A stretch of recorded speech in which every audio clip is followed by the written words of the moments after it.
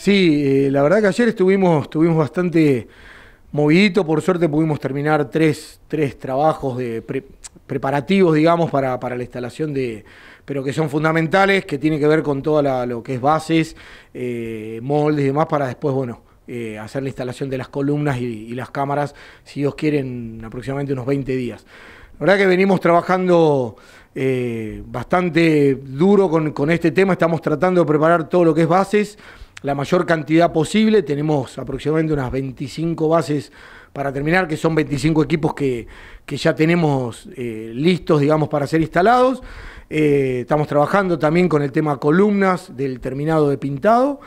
Y bueno, ayer le tocó, teníamos, bueno, como vos dijiste, ahí en la, zona de, Loma del Cauquén, habían habido algunos eventos estos últimos días, muchas casas en, en, proceso así de construcción, eh, poca gente todavía en el lugar habitando, entonces, bueno, eso más otras cuestiones eh, se dieron que, tengamos que, estar trabajando, si bien era un, reclamo, también era un compromiso que habíamos asumido, venimos atrasados,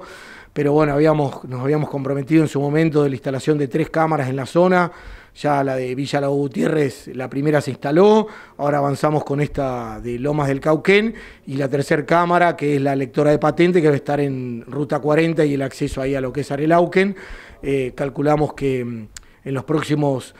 días, si Dios quiere, o, el próximo mes, ya también podamos avanzar con, esa cámara. Lo de los barrios del sur, ¿no? de los de Pampa de Buenuleo, como el barrio de Nuestras Malvinas y demás.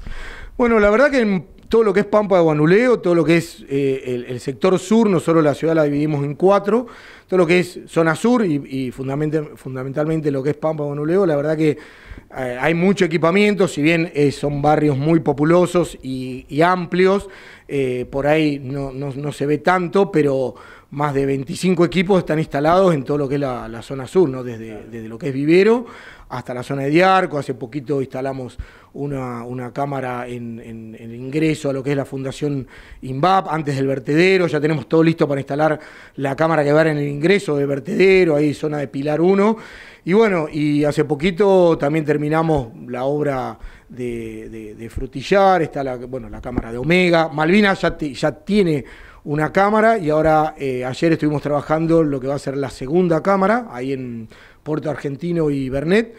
Así que si Dios quiere en 20 días, bueno, sumamos Cooperativa 258, eh, que, también era un, compromiso que habíamos, habíamos este, nos habíamos comprometido con los vecinos. Ahí esta va a estar en la zona de la escalera, que se inauguró hace muy poquito, eh, que se está iluminando, se está parquizando ese lugar y la verdad que está quedando muy lindo.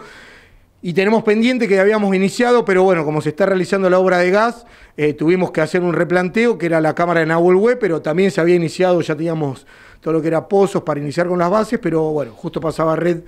eh, de gas y, bueno, obviamente se priorizó eh, lo que es la red de gas, obviamente, así que estamos replanteando la, ubicación y ya tenemos marcado también la ubicación de la segunda cámara de frutillar. Así que bueno, en la zona estamos instalando eh, unas cuantas cámaras, si Dios quieren, en, en el próximo mes.